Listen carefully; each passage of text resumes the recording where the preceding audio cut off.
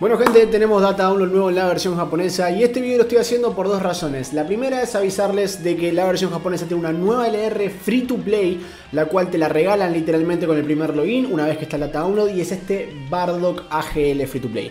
Ahora, todavía no tiene su Dokkan Awaken a esta LR, pero sabemos que va a convertirse en una LR por los stats. Básicamente todos los personajes free to play que se convierten en LR tiene una diferencia de stats de aproximadamente 5000 puntos entre estar Rainbow y estar en base. A veces es un poquito más, a veces es 5100, 5900, 5800, pero en general son personajes que cuando decís los stats de diferencia de HP, ataque y defensa son de 5000 de base a 100%, significa que el personaje se va a terminar convirtiendo en una LR. Ahora te regalan 5 copias con el primer login, puedes canjear más copias por gemas verdes, te sale 100 gemas verdes cada uno.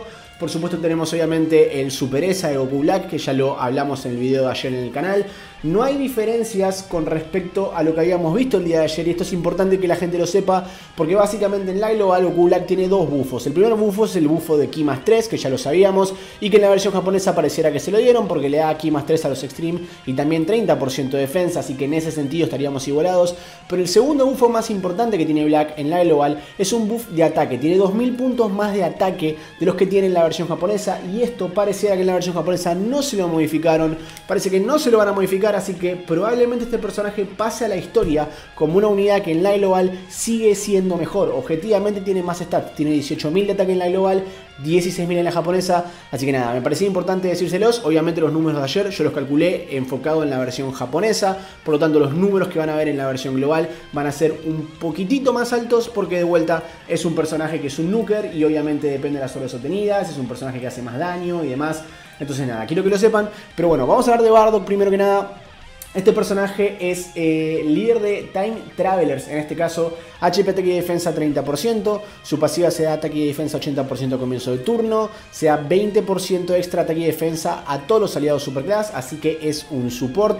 Cuando tenés un enemigo Wicked Bloodline se suma 80% extra ataque, tiene 30% de chance de crítico. Como todos los aliados en la rotación son superclass, lanza un ataque adicional garantizado que tiene 30% de chance, medium chance, de volverse un superataque. Y por último, cuando lanzas un superataque aumenta 40% ataque y defensa.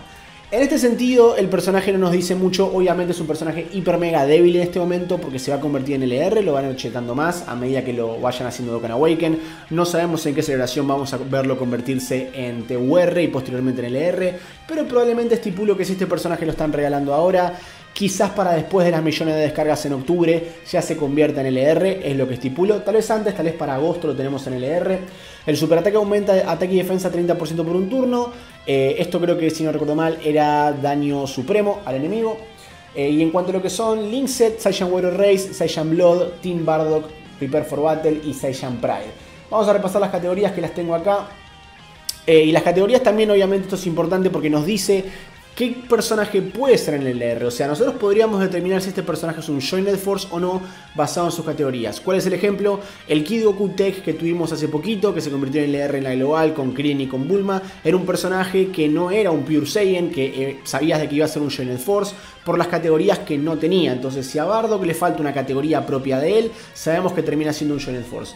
Por lo que parece, este personaje va a ser un Bardock. Es Time Travelers eh, obviamente líder de la categoría. Goku Family, Resurrected Warriors, Low Class Warrior, Team Bardock, Revenge, em, Legendary Existence, eh, Powerful Comeback, Bonzo Parent Child, Pure Science. Perdón, los nombres estando acá en japonés me confunden un poco.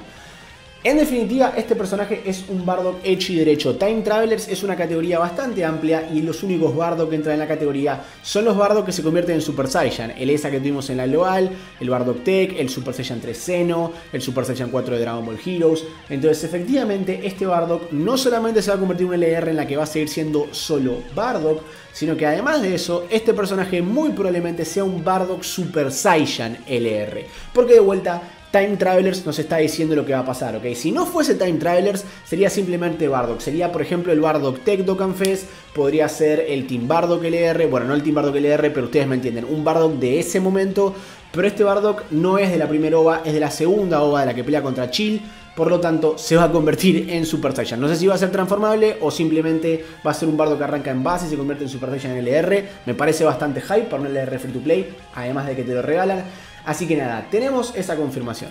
La segunda cosa y la razón principal por la que estoy haciendo este video realmente es para seguir comentando esto que ya lo comenté en un video de teorías en el canal que hace hice un par de semanas atrás que es básicamente que las millones de descargas muy posiblemente sean temática de Dragon Ball GT. Para los que no saben, las millones de descargas ocurren en septiembre. Las millones de descargas son la segunda celebración más importante del año. Es una especie de aniversario 1.5.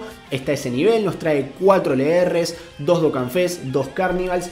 Y lo que habíamos comentado en el video anterior, por el cual hice una teoría súper elaborada de por qué las millones podrían ser Dragon Ball GT y los ESAs y demás, era el hecho de que básicamente eh, se había descubierto de que habían actualizado la pantalla las esferas del dragón específicamente los textos de las esferas de dragón oscuras cuando aparece el Black Smoke Shenron y eso solo lo actualizan cuando vamos a usar las esferas de dragón oscuras y la última vez que pasó, si no recuerdo mal, fue en el cuarto aniversario, lo que significa que es una celebración importante y se estipula que solamente nos traen estas esferas cuando son celebraciones grandes, ¿ok? No te lo van a poner una celebración filler, te lo van a poner una celebración importante. Lo que hicieron en este último download es cambiaron el carácter ID para un personaje preexistente, que es este Goku Super Saiyan 3 STR DGT Transforma la Gran Mono, el cual todavía no tiene esa. Este personaje del segundo aniversario es probablemente una de las unidades más viejas en todos los juegos sin recibir esa. ¿Y qué cambia con el ID? Bueno, básicamente cambiaron del 332 al 741. ¿Cuál es la diferencia?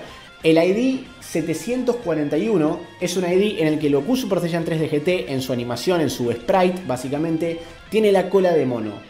Y en el, en el anterior, bueno, acá justamente me muestra solo el 741, pero en el 332, que era el que tenía anteriormente, no lo tiene. O sea, actualizaron el sprite del personaje para que tenga cola.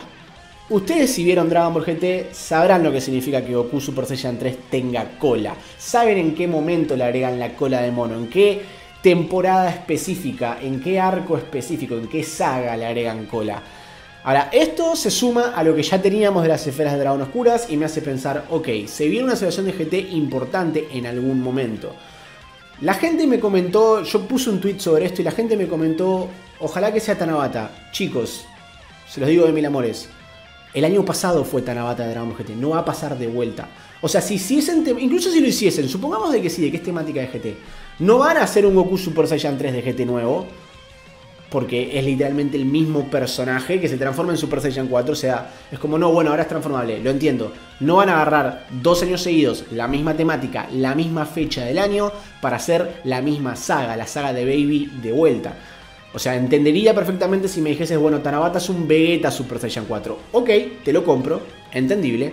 Raro, dos años seguidos GT en la misma fecha de la misma generación, pero te lo compro. Para mí, esto me dice millones de descargas de Dragon Ball GT Saga de Baby. Por lo menos parte 1. Parte 2 probablemente podría ser Omega Shenron. Como había dicho en mi video de teorías, podríamos tener un Vegeta Super Saiyan 4 contra un Sin Shenron transformable Omega o lo que sea. Tranquilamente, a GT Bosses les sirve toda la ayuda que pueden tener. Un Super Baby LR Dokkan Fest creo que estaría hype. Un Goku Super Saiyan 3 de GT transformable a Super Saiyan 4 Carnival estaría bastante hype. O tal vez Dokkan Fest, quién sabe. Pero de vuelta, el año pasado ya lo hicieron Dokkan Fest, el Super Saiyan 4 transformó la Full Power. Si bien no es exactamente el mismo momento de la pelea, digamos de que es en general la misma pelea y es lo mismo. Entonces por eso dudo muchísimo que sea Tanabata. Pero de vuelta, ustedes me dejan en los comentarios sus opiniones si creen que puede ser Tanabata de vuelta. Quizás lo hagan. Para mí de vuelta se hacen Tanabata, va a ser Vegeta. O directamente es un Baby Dokkan Fest. Y esto es parte 2. Raro, pero bueno, no sé, no lo descarto. Nada, eso sería básicamente todo. Tenemos un nuevo Bardock en la japonesa. En la global supongo que llegará probablemente en agosto. Veremos si cuando nos igualan las versiones nos dan a los dos, eh, a las dos versiones en este caso, el Bardock LR transformar la Super Saiyan o directamente el Super Saiyan. Y de vuelta, tengan presente, estamos enfocados en full aniversario, pero muy posiblemente tengamos millones de descargas de Dragon Ball GT. Eso va a ser todo nos vemos la próxima con más Dragon Ball Z Dokkan Battle.